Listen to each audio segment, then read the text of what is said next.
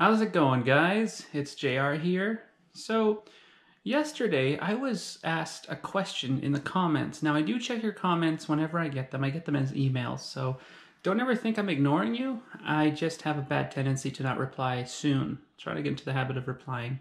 So, always check your notifications on YouTube because you never know when I will reply to your comments. Today's question came from a lovely individual. Uh, she was asking, or he was asking, if I have any advice for kids.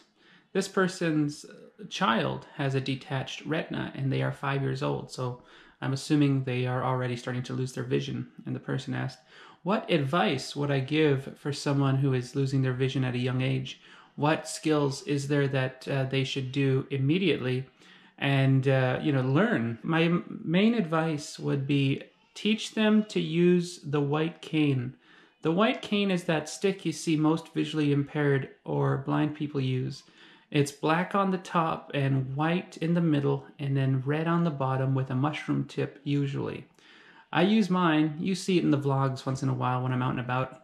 Uh, when it comes to raising a five-year-old who can't see, all you gotta do is teach them everything that you can think of at a young age, right? How to make their cereal. Teach them what what boxes, you know, like some blind people will tear a corner off their cereal box to know, ah, this is uh, you know, this is frosted flakes. Or they'll purposely bend the wooden package, the wooden package? They'll bend their paper packages at a certain corner to know, oh, this is uh this is cornflakes or frost flakes or whatever, you know, corn pops, whatever. So the trick to raising a child who is visually impaired, parents, in my opinion, is teach them everything immediately. Don't put anything off. The sooner you learn your mobility skills, the sooner uh, you know that you're blind and it's a little different for you, the less difficult it is.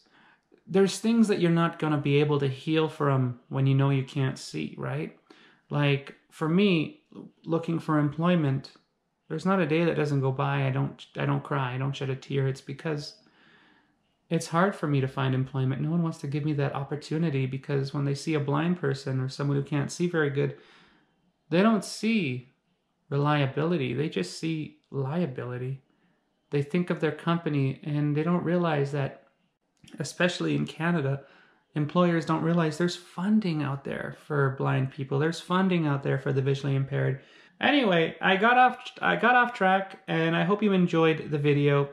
Uh, before I wrap it up though, if you are a parent of someone who is visually impaired and maybe you haven't told them yet or you haven't gotten them ready, get them ready as soon as possible. Let them know that they can't see and teach them the ways. It is your buddy JR um, remember to be cool, be kind, and above all, be yourself. Coming up tomorrow, we'll talk about money. How do blind people read Canadian money? How do they see Canadian money? How do they know what's a 5, 10, 20, 50, or $100 bill?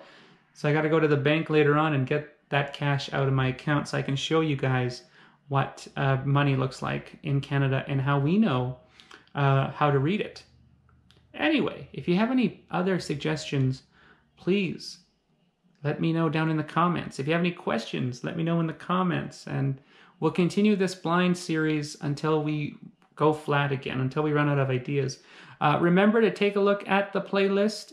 And uh, yeah, it's the first link in the description of the video. And it'll catch you up to date on all the videos we've made about being blind. All that good stuff. All right, it is J.R. Bjornson. Until the next one, see you real soon.